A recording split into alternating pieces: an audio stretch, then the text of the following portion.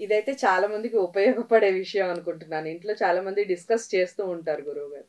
భర్తని అసలు ఆకర్షించటం ఎలా అనేది ఒక పాయింట్ అయితే ఎలాంటి లక్షణాలు భార్యలో కనపడితే భర్త ప్రాణాలు ఇచ్చేస్తారు అంటే లైక్ ప్రాణం పెట్టేస్తారు అంటారు కదా అలాంటి ప్రాణం పెట్టే భర్తని పొందాలి అంటే ఆడవారిలో ఎలాంటి లక్షణాలు ఉండాలి లక్ష్మీదేవి అమ్మ అంటే అంత ఈజీ కాదు.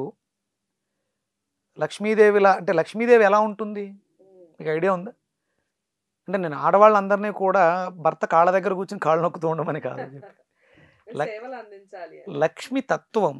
లక్ష్మి అనేది తత్వం అది ఒక శక్తి పవర్ ఆవిడ ఎలా ఉంటుందో మనకు తెలియదు ఇలా ఉంటుందని మనం ఒక రూపాన్ని గీసుకుని ఆవిడని తామర పువ్వులో కూర్చోబెట్టి ఆవిడ దగ్గర ఒక రెండు ఏనుగులను పెట్టి. మనం ఒక బొమ్మ గీసుకున్నాం అది ఋషి ఎవరో దర్శించి ఇలా ఉంటుందని చెప్పడం ద్వారా ఒక ఆర్టిస్ట్ తన రూపాన్ని మనం గీసుకోగలిగాం. అంటే లక్ష్మి అనేది ఒక తత్వం ఆవిడ విష్ణుమూర్తి ఎక్కడ ఉంటే ఆవిడ అక్కడ ఉంటుంది. విష్ణుమూర్తి శేషపాన్పుపై పడుకుని ఉంటారు సైనించి ఉంటారు ఎడమ చేతిని కింద పెట్టుకుని విష్ణుమూర్తి తత్వం అంటే శేష పాన్పుపై ఆయన పవలిస్తూ చిన్ముద్రలో అంటే నవ్వుతూ ప్రశాంతంగా పడుకుని అమ్మవారితో సేవ చేయించుకుంటూ ఉంటాడు. ఇక్కడ ఆ విష్ణుమూర్తి తత్వం లక్ష్మీదేవిలోనూ ఉండాలి విష్ణుమూర్తిలోనూ ఉండాలి. వాళ్ళిద్దరూ లక్ష్మీనారాయణులు. మనం వివాహం జరిపించినప్పుడు కూడా లక్ష్మీనారాయణులుగా భావించి కళ్యాణం జరిపించడం జరుగుతుంది. అంటే వాళ్ళిద్దరిలో కూడా ఉండాల్సినది ఏంటి అంటే ప్రేమ. విష్ణుమూర్తి తత్వం అంటే ప్రేమకి సంకేతం. ఎక్కడైతే ప్రేమ ఉంటుందో అక్కడ లక్ష్మీదేవి నివాసం ఉంటుంది. అందరూ కూడా ఇప్పుడు ఇప్పుడు జనరేషన్లో డబ్బు కోసం పరిగెడుతూ ఉంటారు డబ్బు డబ్బు డబ్బు.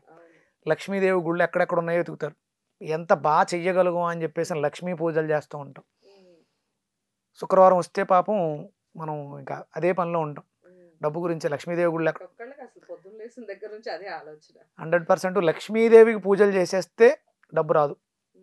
మీరు విష్ణుమూర్తిని తీసుకొచ్చి మీ ఇంట్లో కూర్చోబెట్టుకుంటే అంటే మీరు విష్ణు సహస్రనామార్చన బాగా చేసేసారు అనుకోండి.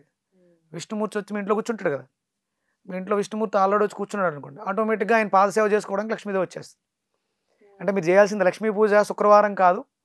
శనివారం వెంకటేశ్వర స్వామికి విష్ణుమూర్తికి పూజ చేయండి. అంతేనమ్మా? అని కూడా కాదు.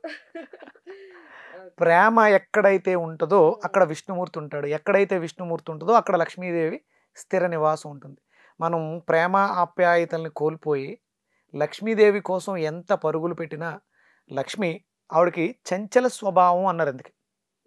మీరు లక్ష్మిని తీసుకొచ్చి కూర్చోబెడతాను మీరు డబ్బు సంపాదించగలుగుతారు కోట్ల కోట్ల డబ్బు సంపాదించేస్తారు కానీ ఆవిడ స్థిర నివాసం ఉండదు వెళ్ళిపోద్ది. మీరు విష్ణుమూర్తిని తీసుకొచ్చి మీ ఇంట్లో కూర్చోబెట్టండి.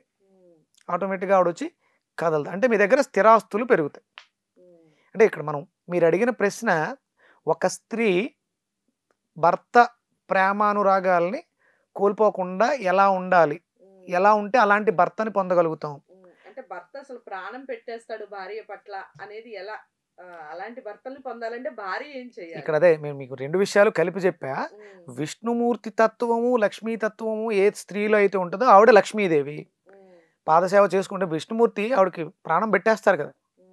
ఆయన ప్రాణం పెట్టేస్తాడు కాబట్టి ఆవిడ అక్కడ ఆయనతో పాటే ఉంటుంది అంటే పాదసేవ చేయడానికి కూడా ఆవిడ వెనకాడదు. గర్వము అహంకారం ఉండదు. ఇక్కడ ఇప్పుడు స్త్రీలలో ఏమైందంటే అమ్మ అధికారం అంటే నేను కూడా సంపాదించగలను పోటీతత్వం ఇవి పెరిగినాయి. మంచిదే. అభివృద్ధి చెందడం గురించి నేను. ఆ, అన్నిట్లోనూ పురుషుడికి ఎంత అయితే హక్కు ఉందో స్త్రీకి కూడా అంతే హక్కు ఉంది. No doubt. కానీ ఇక్కడ స్త్రీకి కావాల్సింది అణకువ ఉమ్. అణకువ తగ్గిపోయి భర్త ఏదో అన్నాడు. దానికి నేను ఇమీడియట్గా సమాధానం చెప్పాను నన్ను అంటాడా. నాకంటే ఎక్కువ తెలుసా. ఇవి ఎక్కువ అయినాయి ఉమ్. నాలెడ్జ్ ఉండడం అవసరమే ఎప్పుడు ఎంత ఎవరితో. నేను చాలా మందితో మాట్లాడా. వాళ్ళు ఏదో అడిగారు కాబట్టి సమాధానం చెప్పేయాలి నోరు మూయించేయాలని ప్రయత్నం చేస్తాం. అన్నది భర్తే కదా నీతో పాటు జీవితాంతం ఉండాల్సిన వాడే కదా ఒక మాట అన్నాడు ఏమైపోయింది మనకి. అంటే అతను మిమ్మల్ని తిట్టేస్తున్నాడు కొట్టేస్తున్నాడు పడుండండి కాదు. అతను తిట్టిన మనం సమాధానం చెప్పలేదు అనుకోండి. తిడుతున్నాడు సమాధానం చెప్పలేదు. కాసేపు వాగి వాగి అంటే ఇప్పుడు నేను అలా మాట్లాడే మొగుడు గురించే మాట్లాడతాను. మురిగి మురిగి కుక్క మనం ప్రతిస్పందించలేదు. ఏం చేస్తుంది? ఇవాళ జరిగింది. మురిగాడు మురిగాడు మురిగాడు. అయిపోయింది. బయటికి వెళ్ళిపోతాడు. మీరు సమాధానం చెప్పారనుకోండి నువ్వు నాకు సమాధానం చెప్తావా అని అంటే ఇలా వాదించే వాళ్ళు కూడా ఉంటారు కదా గురువు గారు. అంటే అలా మురిగే వాళ్ళని ఎంతకాలం భరించాలి? తప్పదమ్మా ఇప్పుడు ఇది భర్త కాబట్టి మన మీరు ఈ ప్రశ్న వేశారు. రోడ్డు మీద నిజంగానే ఒక కుక్క మరుగుతుంది. మీరు కుక్కతో సమానంగా మొరగలుగుతారా? మన మనం దిగజారాలుగా కుక్కతో సమానంగా వెళ్ళాలని అతను అయితే రైట్ వర్డ్ అయితే మాట్లాడి ఉండాలి మిమ్మల్ని ప్రశ్నించారమ్మా మురుగుతున్నాడు. రైట్ వర్డే మిమ్మల్ని తిడుతున్నాడు. మీరు ఆయన అన్న దాంట్లో అర్థం ఉంది. అప్పుడు అంటే మీరు తప్పు చేశారు కాబట్టి మురిగాడు కాబట్టి సైలెంట్ అయిపోవాలా? తప్పే చేసాం తిడుతున్నాడు. ఓకే అదే ఇక్కడ మీకు- మిమ్మల్ని క్వశ్చన్ అడిగేది అది. తప్పు చేశాం కాబట్టి తిట్టాడు కాబట్టి తల ఉంచుకున్నాం ఓకే. మీరు తప్పు చేయలేదు. మురుగుతున్నాడు తిడుతున్నాడు. అది తప్పు కాదు అని చెప్పాల్సిన అవసరం లేదు. అది కాదన్న విషయం మీకు మీ అంతరాత్మకు తెలుసు కదా. అతను అనారోగ్యంతో ఉన్నాడు లేకపోతే నేను మగాణ్ణి అనే ఇగోతో ఉన్నాడు అహంకారంతో మాట్లాడుతున్నాడు. అది మీకు అర్థమైంది. ఒక అహంకారితో మీరు మీ అహంకారాన్ని విడిచిపెట్టి పక్కన పెట్టి వాదించాల్సిన అవసరం ఉందా? దానివల్ల ఏంటి లాభం? మీ మీకు అర్థమైతే చాలు. అతను రైట్ ఆర్ రాంగ్ మరి అలా వాదించే వాళ్ళు భార్యాభర్తల మధ్యనే ఆ సమస్యని కానీ ఆ వాదనని కానీ ఉండకుండా నలుగురి మధ్యలో భార్యని నిందించే మగాళ్ళను కూడా చూస్తూ ఉంటాం. మరి అలాంటప్పుడు కూడా ప్రతిఘటించకపోతే అమ్మ, అంటే వాదన నిజమైపోతుందిగా? నిజమే నిజమే అనుకుందామండి. ఇక్కడ నేను వాదన గురించి అంటే ఎక్కడైతే స్త్రీ పూజింపబడుతుందో మనకి పురాణాలు శాస్త్రాలు చెప్పాయి ఎత్తర నార్యస్తు పూజ్యంతే ఎక్కడైతే స్త్రీ పూజింపబడతో అక్కడ సుఖశాంతులు పెళ్ళు బిగుతాయి వృద్ధి చెందుతాయి బాగుంటాయి. ఇక్కడ అవతల వ్యక్తి తనని కోల్పోయాడు. మానవత్వాన్ని కోల్పోయాడు. భర్తతత్వాన్ని హుందాతనాన్ని యజమాని తత్వాన్ని కోల్పోయి మిమ్మల్ని బయటికి తీసుకెళ్తున్నాడు. ఇంట్లో జరగాల్సిన మ్యాటర్ని బయటికి తీసుకెళ్తున్నప్పుడు ఇక్కడ ప్రస్తుతానికి ఒక జ్వరం వచ్చినటువంటి వ్యక్తి.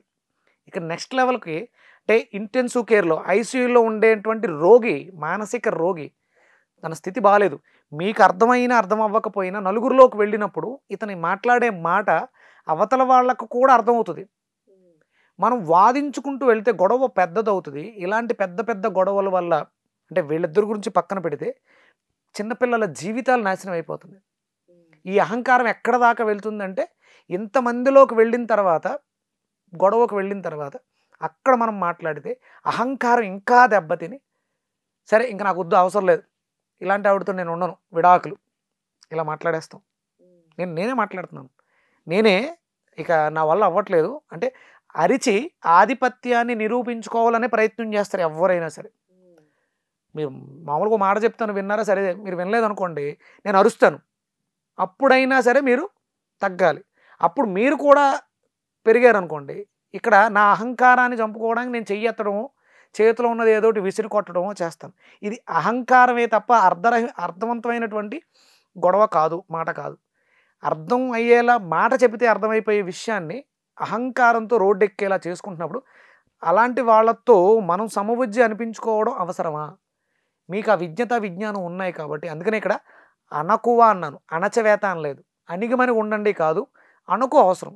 ఇక్కడ భర్త కాబట్టి మీరు అనగండి అనుకోగా ఉండండి అంటున్నాం. ఇదే విషయం బయటకు వెళ్ళినప్పుడు మీ భర్తని కాపాడుకోవాల్సిన సిచ్యువేషన్ మీకు వచ్చినప్పుడు మీరేం తగ్గుండాల్సిన అవసరం లే.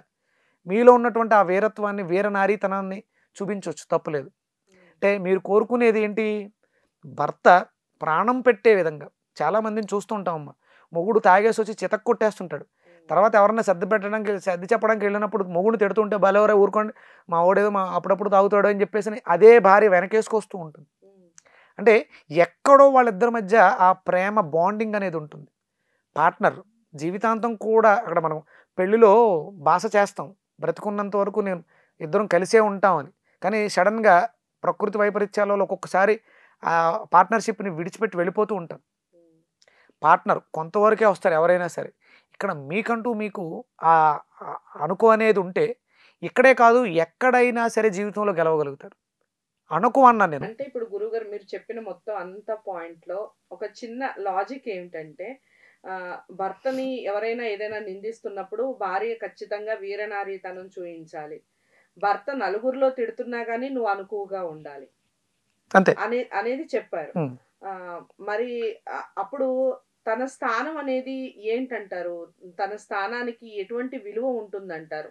అంటే భర్తనేమో భర్త మాట్లాడుతూ ఉంటే నలుగురిలో మాట్లాడినా సరే వాళ్ళిద్దరి వరకు ఇంట్లో మాట్లాడుతూ ఉంటే ఓకే. అది కూడా సర్దుకోవాలి అంటే దాంట్లో ఒక అర్థం ఉంది మీరిద్దరూ ఒకటే కాబట్టి అని. తను నలుగురిలో తీసుకెళ్ళి కూడా భార్యని తప్పు పట్టించినప్పుడు ప్రతిఘటించద్దు అని చెప్తున్నారు అలాగే నలుగురిలో భర్తను మాత్రం ఏదన్నా అంటే మాత్రం ఖచ్చితంగా ప్రతిఘటించాలి అని చెప్తున్నారు అంటే దాన్ని ఇక్కడ? చూడండి ఆ స్త్రీకి ఎన్ని బాధ్యతలు ఉన్నాయో ఒక చోట తల్లిగా ఉండాలి. అంటే భర్తకి బాధ్యతలు అసలు లేవంటారు ఇలా భార్యను నిందిస్తూ. నిజంగా నిజంగా అలాంటి బాధ్యతలే ఉంటే ఈ రోజు మనం ఈ ఎపిసోడ్ గురించి డిస్కస్ చేసుకునే పరిస్థితులు వచ్చుండేవి కాదు. కాలం చాలా మారిపోయింది. కాలం అంటే కాలం మారలే కాలం అలాగే ఉంది.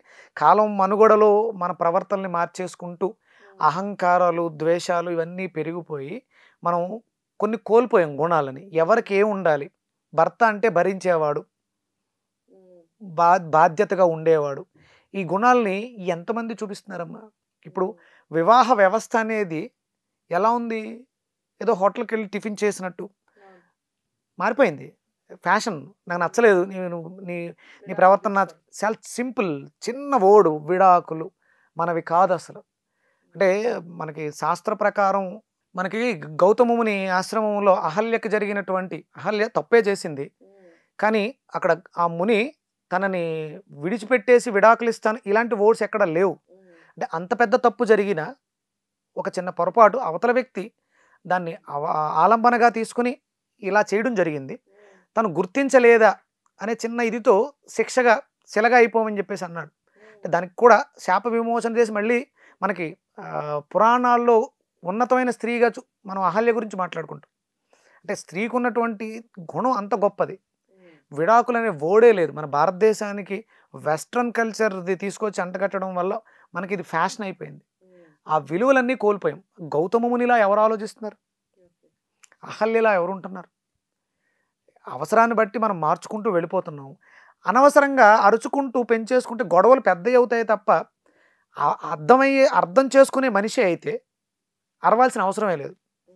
రోడ్డు ఎక్కదు రోడ్డు ఎక్కేదాకా తీసుకొచ్చాడు కాబట్టి మాట్లాడి అవతల వాళ్ళు ఏమంటారు? చూడు ఎంత బరిదగించిందో ఇంతమంది మనం ఉండగా కూడా మాట్లాడుతుంది అని మళ్ళీ ఆవిడే అంటారు. అసలు అక్కడ దాకా రావడమే తప్పు. అక్కడ మనం ఇక అరిచి పా నిలబెట్టుకోవాల్సినంత అవసరం ఏం లేదు. అది నిలబడద్దా ఎప్పుడైతే నాలుగు గోడల్లో జరగాల్సిన పని పంచాయతీకి వచ్చిందో అయిపోయింది. అక్కడే ఆ వంద అనుకున్నటువంటి విలువ అర్థమైపోయింది. ఇక అక్కడ మాట్లాడి మిమ్మల్ని మీరు ఇంకా దిగదారు చేసుకోవడం అవసరమా అంటాను నేను. నాకు అర్థం కాదు. ఎందుకంటే కొన్ని స- నెలలో సంవత్సరాలు కాపురం చేసిన మీ భర్తకే మీరు అర్థం కాలేదు. అప్పటికప్పుడు మీ గురించి ఇతను చెప్తే విని అర్థం చేసుకునే మనుషులకి పెద్దలకి మీ గురించి ఏమర్థం అవుతుంది? అప్పుడు మాట్లాడడం అవసరం వీడికి అర్థం కాలే. ఇక వాళ్ళకేం అర్థం అవుద్ది. ఇప్పుడు ఫైనల్గా చెప్పండి. భార్య భర్తని ఎలా దాన్ని ఏమంటారు అర్థం చేసుకొని తత్వంగా ఎలా మార్చుకోవాలంటారు? అంటే భార్య మీద ప్రాణం పెట్టే భర్తని ఎలా పొందాలంటారు? విష్ణు పూజ చేయండి. ప్రేమని పంచండి. అంటే మీరు ఏదైతే కోరుకుంటున్నారో. అది అంటే నాకు ఏదైతే కావాలో అది ఇవ్వాలి. ఏదైతే ఇస్తానో అది పదింతలు వస్తుంది. Give and take. మీకు ప్రేమ కావాలి ప్రేమనివ్వండి. మీరు ఏదైతే ప్రేమను కోరుకుంటున్నారో అది ఇస్తున్నారు కానీ అది పదింతలు రిటర్న్ వస్తుంది. ఓకే. ఇది ఇది పాయింట్ బాగుంది. ప్రేమ అనేసరికి చాలా మంది ఆ ప్రేమ అనే పదాన్ని వక్రీకరించి రకరకాలుగా మాట్లాడేస్తూ ఉన్నారు. ఈ మధ్య కాలంలో ఈ జనరేషన్లో చాలా ఎక్కువైపోయింది. ప్రేమ అంటే అది ఒక అట్రాక్షన్లా అయిపోయింది. జస్ట్ ఒక ఒక రెండు రోజులు ఒక రోజు పని అయిపోయింది. అలా కాదు. ప్రేమ అంటే మనం ఎంత ఇస్తే ఎదుటి వాళ్ళ నుంచి అంత పొందేది అనేది ముఖ్యంగా భార్యాభర్తల మధ్య అలాంటి అలాంటి తత్వం ఉంటేనే వాళ్ళ జీవితాలు బాగుంటాయి. అంటే ఇప్పుడు మీరు లేని దాని కోసమే కదా మనం వెంపర్లాడే డబ్బు లేదు కాబట్టి డబ్బు కోసం వెంపర్లాడుతున్నాం. ప్రేమ కోసం వెంపర్లాడుతున్నావు అంటే ఆ ప్రేమ నీలో లేదు. కాబట్టి దానికోసం వెంపర్లా అవతల వ్యక్తి నుంచి మనం అడుగుతున్నాం. అడిగితే వచ్చేది కాదు. నీలో ఏదైతే ఉందో ఇప్పుడు ముందు ఇవ్వాలి. ఇవ్వాలి. ఇస్తే అది పది-. అది పదింతలై వస్తుంది. అది పదింతలై వస్తుందని చెప్తున్నారు. అట్లీస్ట్ రెట్టింపై అన్న రావాలి అని కోరుకుంటూ భార్యాభర్తల మధ్య సంబంధాలు మెరుగుపడాలి అంటే ముందు వాళ్ళ మధ్య సయోధ్యం ఉండాలి. అలాంటి సయోధ్యం ఉండాలి అంటే ప్రేమని పంచండి. చాలా బాగా చెప్పారు గురువు గారు థ్యాంక్ యూ సురేష్.